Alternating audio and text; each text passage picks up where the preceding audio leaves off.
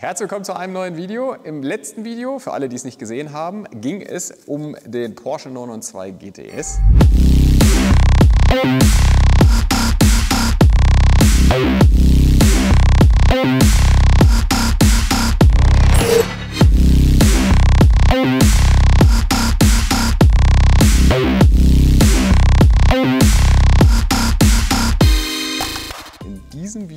Ein Highlight werdet ihr meine ersten Runden auf der Nordschleife sehen.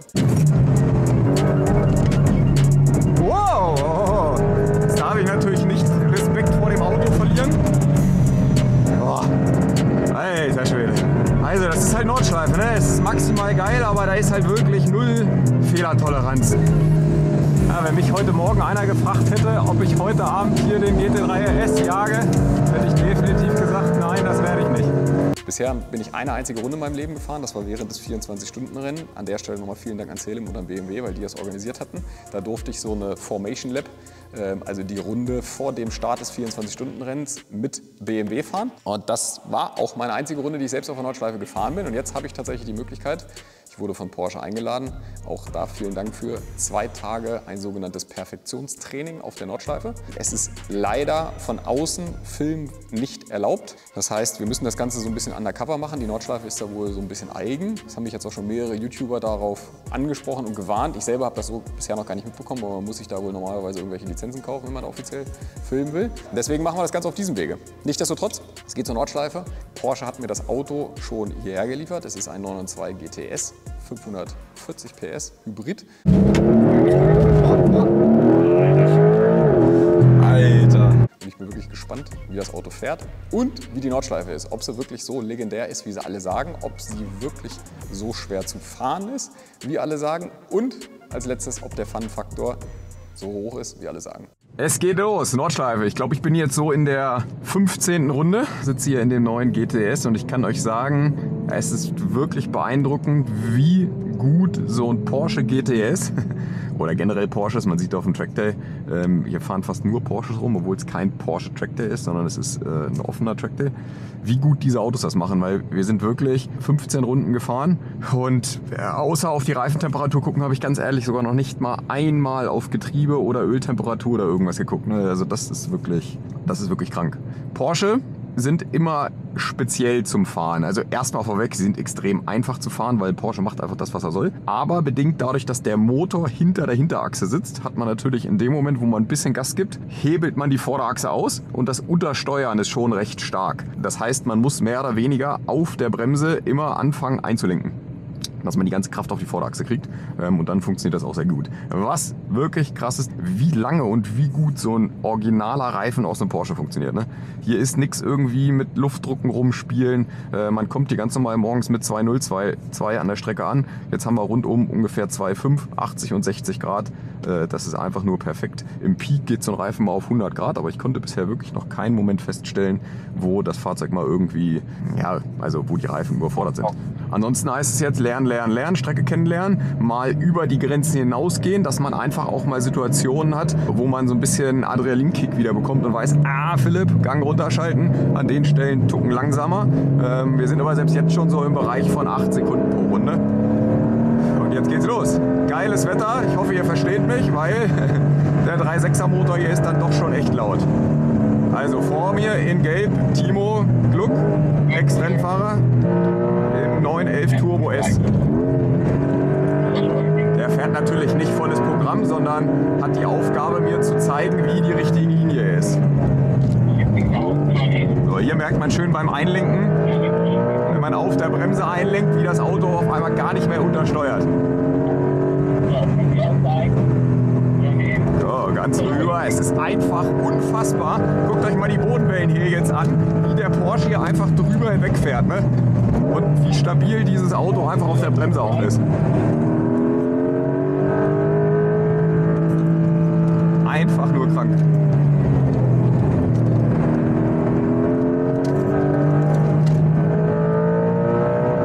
So, jetzt kommt die erste Mutstelle, wo man Eier zeigen muss. Da werden wir auf jeden Fall lupfen jetzt. Hier an der Kuppe. Ich weiß nicht, ob man stehen lassen könnte und erst hinter der Kuppe bremsen könnte.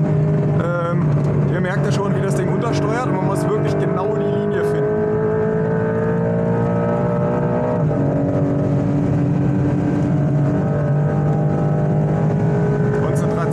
hier gibt es nur, guck mal auf Tacho, wir haben hier 270.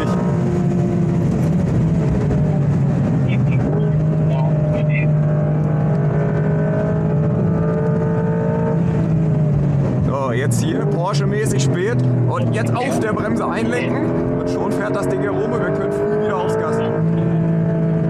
Ah, heizt wir Timo noch mal ein bisschen ein hier. So, jetzt müssen wir kurz einmal ein bisschen Suche machen, weil hinter uns die Teilnehmer, äh, die sind schon, äh, ein bisschen Abstand gelassen. Also wir sind hier in einer Vierergruppe unterwegs und am Ende geht es darum, alle aufs gleiche Level zu bringen. So, hier kann ich euch jetzt auch wieder gut demonstrieren. Rum, innen bleiben. Jetzt guckt euch mal an, was passiert, wenn ich hart bremse und dabei einlenke. Wie dieses Auto auf einmal einlenkt.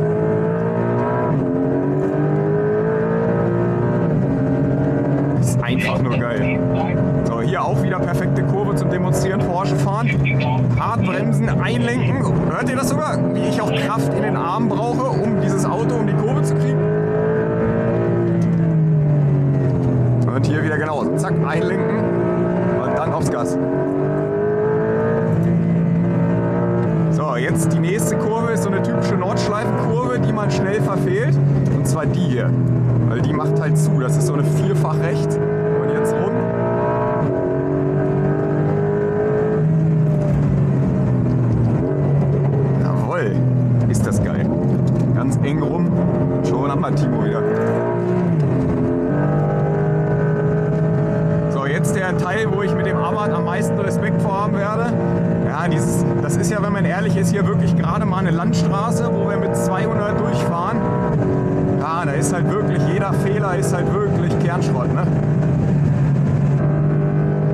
Stelle schon mal vielen, vielen Dank für, an Porsche für diese Möglichkeit. Ähm, unabhängig davon, dass es natürlich verstanden haben, wie man schnelle Autos baut. Sie haben es auch verstanden, wie man Leute einfach begeistert. Ne? So, jetzt geht es hier an der GT3-Truppe dran vorbei. Man hört sogar, wie die Reifen arbeiten. Das ist zu geil.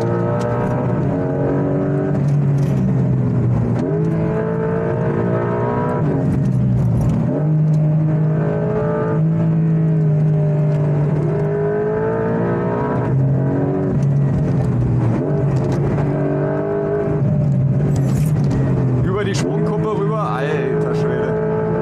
So, jetzt Mittelfield habe ich noch nicht ganz so die Eier.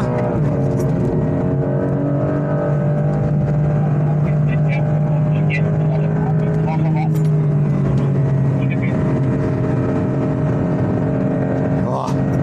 Alter Schwede. Also, das ist halt Nordschleife, ne? Es ist maximal geil, aber da ist halt wirklich null Fehlertoleranz. Also mal eben kurz sich denken, ach, hier fahre ich ein bisschen eine andere Linie, dann ist halt wirklich sofort Baustelle. Kleine Karussell, hier gerade über die Kuppe rüber. Ja, ihr seht jetzt, wir sind bei 7 Minuten 40 BTG-Zeit, weit vor der Brücke. Äh, aber wir mussten ein paar Autos überholen, haben jetzt auch die letzten Kilometer nur rollen lassen.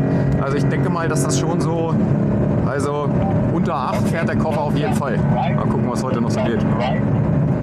So Leute, jetzt wird's ernst. Vor mir Timo Gluck im Turbo S hat jetzt die Aufgabe, natürlich mich maximal schnell über den Parcours zu bewegen, als auch zu zeigen, mit Absicht für euch, wo der Turbo einfach nochmal seine Stärken hat. Weil in Summe wird das Auto bestimmt 20 Sekunden schneller sein, hier würde ich mal so tippen.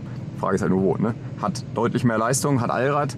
Das heißt, ich denke mal so aus der einen oder anderen engen Ecke raus, könnte der schon einen deutlichen Vorteil haben. Andererseits mit unserem E-Turbo hier drin, also mit diesem elektrisch angetriebenen Abgasturbolader, habe ich natürlich aus den Ecken raus auch immer gut Saft. Ne? Deswegen, ich bin echt gespannt. Und natürlich bin ich auch gespannt, was wir am Ende ungefähr für eine Zeit fahren. Und los geht's. Let's go.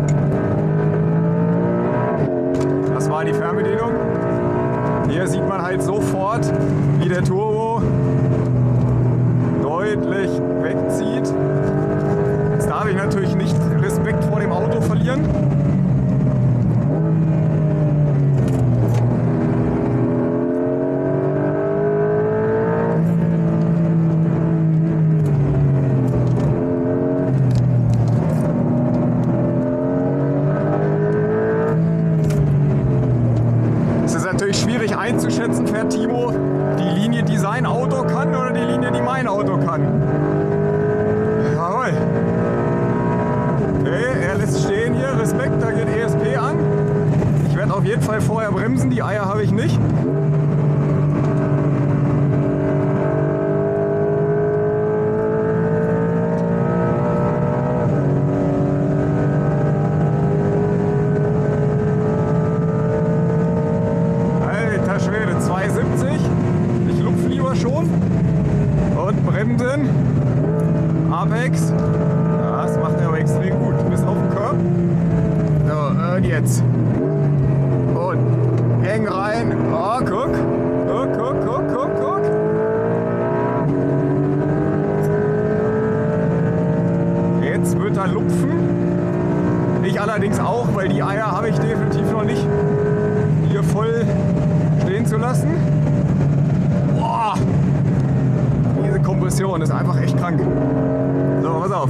den engen Enfield.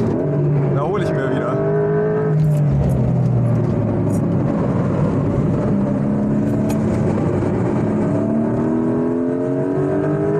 Das wird jetzt Vollgas sein. Da sieht man, wie der Turbo wegzieht. Aber ich muss echt sagen, geisteskrank, wie gut dieser GTS das macht.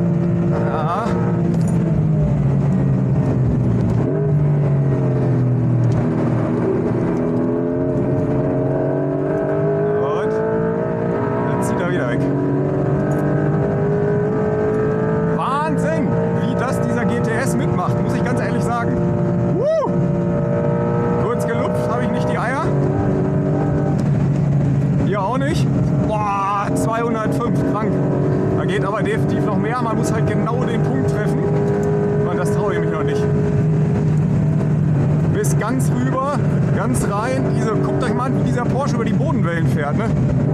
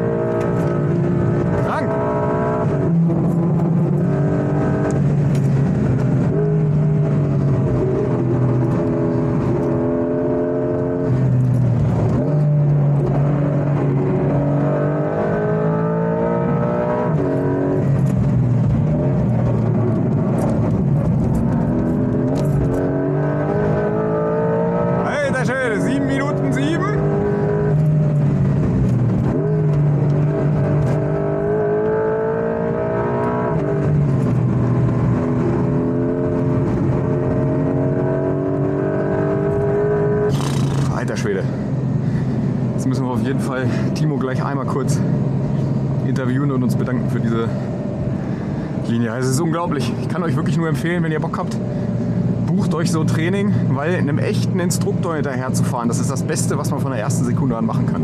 Wenn ihr vergleichbare Autos habt und auf einem ähnlichen Level fahrt. Boah.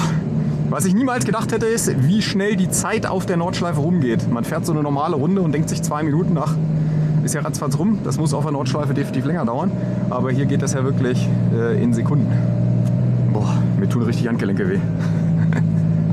Wahnsinn, wie gut dieses Auto macht. Okay, jetzt haben wir natürlich auch hinten 100 Grad, vorne 123 Grad. Überlegt euch mal, Leute. 123 Grad auf den Reifen und das Ding performt immer noch so. Also ich bin wirklich einfach nur sprachlos. So, einmal Timo kurz. Vielen, vielen Dank. Der Mann Bitte. im Game Porsche. Ja, man sieht schon beim Beschleunigen, wie der Porsche deutlich schneller ist. Ne? Also der Turbo. Ja, ich der wollte Turbo. sagen, das ist ja auch ein Porsche. Also Ja, der Turbo. gut, ich sage jetzt mal, die Leistung macht es natürlich dann schon noch bemerkbar. Und, äh, aber du merkst teilweise schon noch in den engen Ecken, dass ich sag mal, da einfach das Auto nun wieder neuer ist. Ja. Und her, das merkst du schon eng, aber klar, geradeaus geht das Auto immer noch. Voll krass, ich konnte noch genau sagen, jetzt die nächsten zwei, drei Kurven werde ich wieder ganz gut ranfahren, weil das habe ich in den Runden davor schon bemerkt, Ja. dass der da einfach gefühlt Ja. so auch so über Kuppen rüber, wie die Vorderachse auf dem Boden klebt. ist wirklich Ja. krank. Ne? Was schätzt du prozentual, wie viel war das gerade, was der Turbo S kann?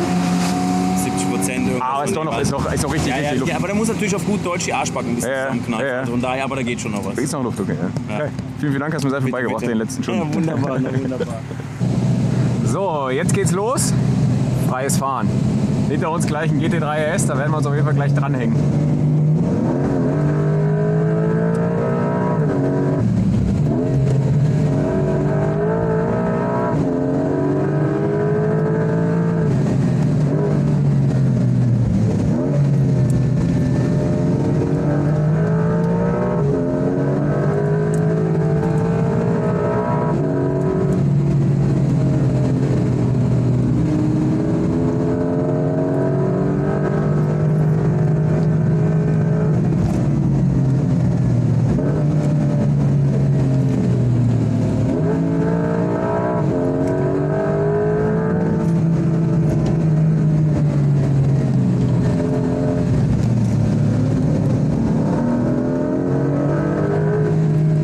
Ja, wenn mich heute Morgen einer gefragt hätte, ob ich heute Abend hier den GT3 RS jage, hätte ich definitiv gesagt, nein, das werde ich nicht.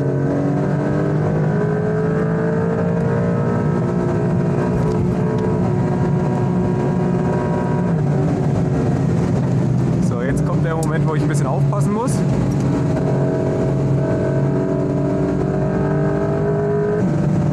Hier ist jetzt die Aero von dem GT3, wo der natürlich stärker ist.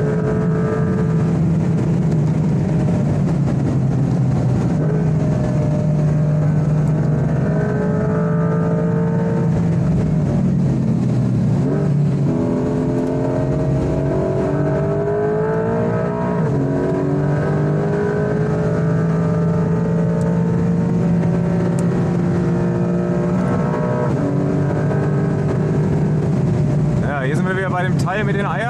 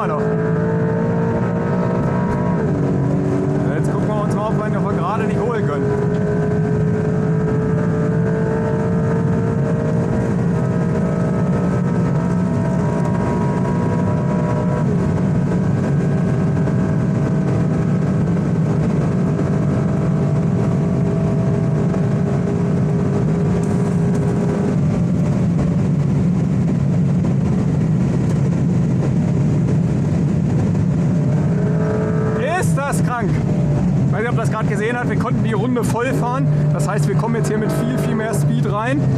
Ah, Ich bin wirklich begeistert, wie gut dieses Auto funktioniert. Ah, gefühlt sind wir ganz alleine hier auf der Nordschleife. Ist das krank? Das waren die ersten 40 Runden von mir auf der Nordschleife.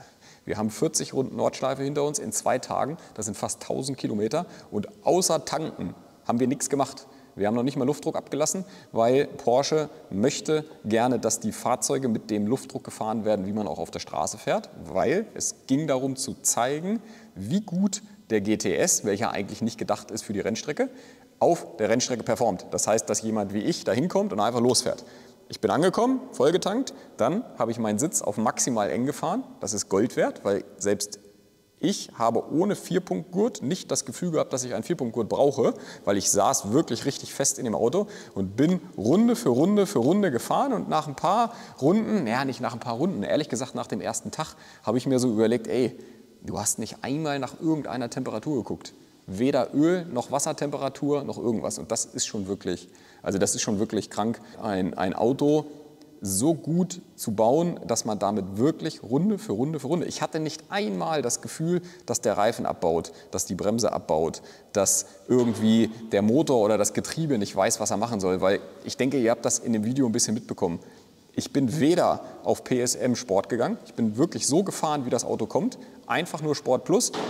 Dann habe ich nicht selber geschaltet, sondern ich habe wirklich gesagt, wir lassen das Auto heute mal machen, was das Auto macht. Wirklich keinen einzigen Schaltvorgang selber gemacht auf der Strecke. Und normalerweise, jeder, der mich kennt, weiß, ich schalte gerne selber. Aber ich weiß nicht, wie es geht, aber gefühlt weiß das Auto über GPS, wo es auf der Strecke ist. Das heißt, wenn ihr kurz vor dem Begrenzer über eine Kuppe kommt und kurz lupft, schaltet das Auto nicht hoch sondern er geht wirklich in die Schlepplast rein und lässt das Fahrzeug quasi über die Kuppe mit, mit Schleppleistung rüberlaufen und danach könnt ihr wieder Vollgas geben. In dem Moment, wenn ihr das Bremspedal nur anguckt und bremset, fängt das Ding schon an runterzuschalten, aber nicht so ein bisschen runterzuschalten, sondern so wirklich on point immer die Gänge ähm, hintereinander. Erinnert mich immer so ein bisschen, wenn wir im Simulator Formel 1 Auto fahren, da kloppt man die Gänge auch so runter beim Schalten. Und ah, das ist einfach, also da muss ich wirklich sagen, Respekt an Porsche. Ähm, das soll jetzt zur Sekunde hier auch keine Werbung sein, sondern jeder, der so ein Auto auf der Rennstrecke schon mal gefahren ist, weiß einfach, wie gut die Autos fahren. Das können sie einfach, sie sind dafür gemacht. Da stecken einfach Jahre in dem neuen Elver drin, kontinuierlich weiter gemacht. Und ja, das Ding fährt geil, muss ich einfach sagen.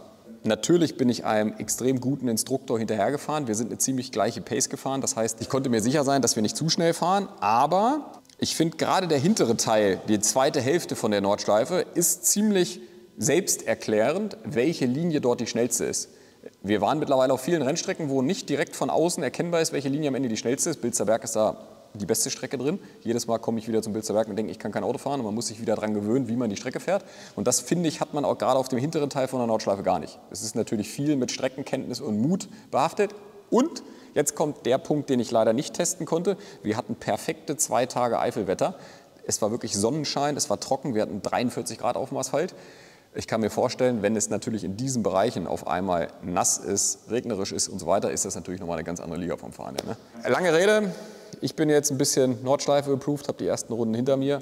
Ist wirklich geil, macht Spaß. Ich sehe es mit anderen Augen. Ich sehe es schon so, dass man da tatsächlich mal mit dem Abarth fahren könnte. Ich dachte die ganze Zeit, das geht auf gar keinen Fall, aber ich glaube schon, dass das, dass das geht. Zehn von zehn Punkte für den Porsche, weil wirklich seit langem einem Auto, ich bin knapp 2700 Kilometer gefahren und es war nicht ein Punkt dabei, und das habe ich selten, wo ich genervt bin von dem Auto das klingt jetzt ein bisschen übertrieben, wie kann man von so einem Auto genervt sein, aber jeder von euch kennt es, es gibt immer irgendwas. Man fährt einen geilen Schalter, ist Automatik gewöhnt, kommt in Stau und sagt sich nach so einem Tag mit 500 Kilometern schon auf dem Buckel, ah scheiße, jetzt hätte ich gerne lieber eine Automatik. Es gibt immer irgendwelche Kleinigkeiten, die einen stören. Ne? Und da war es wirklich so, vom ersten bis zum letzten Tag, das Ding kann auf der Autobahn ballern, das Ding kann auf der Rennstrecke schnell sein. Ich konnte am Ende tatsächlich mit einigen GT3 RS mitfahren, Natürlich ist das eine große Spanne. Am Ende wird der GT3 auf jeden Fall eine halbe Minute schneller sein auf der Nordschleife. Aber ich glaube, dass das schon GT3-Fahrer waren, die wussten, was sie da tun und zumindest ein bisschen schneller unterwegs sind. So der typische, wie nennt man sie, Clubsportfahrer, so ungefähr. Und das zeigt schon, wie viel Potenzial der, der GTS auf jeden Fall hat. War eine geile Experience. Vielen, vielen dafür. Vielen Dank fürs Zuschauen. Ähm, ihr seht, ich bin wieder in der Werkstatt. Jetzt wird weitergeschraubt. Tschüss, danke und bis zum nächsten Video.